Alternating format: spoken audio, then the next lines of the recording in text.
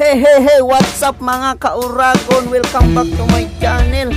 Kumusta naman kayo sa mga araw na ito? Sana ligtas kayo ngayon kung saan naman kayo naroon. Hello, what's up mga kauragon? Welcome back to my channel. So for today's video, gagawa tayo ng grinder.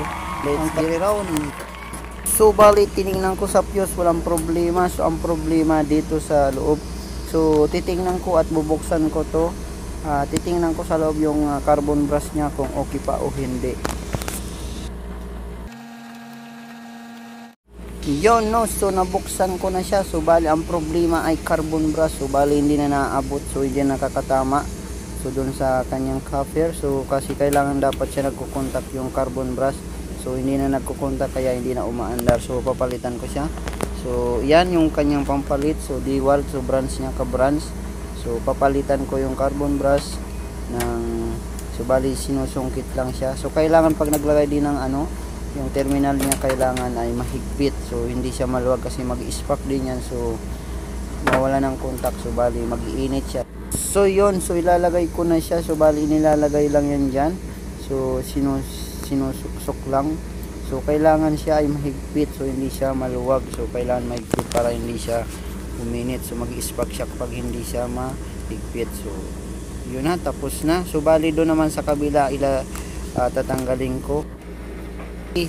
So bali nandito naman sa kabila. So papalitan ko naman yung kabila. So yan.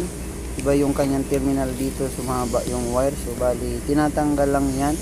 At uh, parang parehas lang yung sa kabila may terminal. Pero yung kanyang wire mahaba. So sinusuksok lang din. So yun. Tapos na So, ang gagawin ko ngayon ay ipa-plug ko na siya. Susubukan ko kung gumagana ba talaga siya. So, sasaksa ko na siya para matisting. So, yan, gumana na nga. So, ito na siya. So, ang ano kasi, minsan, hindi lang sira sa, minsan kasi hindi gumagana yung walang power. So, minsan kasi walang, ano, wala siyang power. So napuputol yung wire. Kasi yung ating paglalagay ay yung paglalagay kasi nila ng wire ay tinatali niya sa carb, uh, sa grinder. So yan dyan minsan dyan napuputol minsan doon naman sa dulo. So, ganyan kasi yung pagtali nila. Tinatali nila. Dapat hindi ganyan. So ang gagawin ay i-roll lang. So ganyan. Para hindi maputol yung wire. So i-roll lang siya tapos ilalagay so is, uh, kailangan tali may tali din. Kasi kung itatali dyan sa grinder sa kanyang katawan so bali ganyan. So wag dapat gawin kasi mapuputol yung wire sa loob.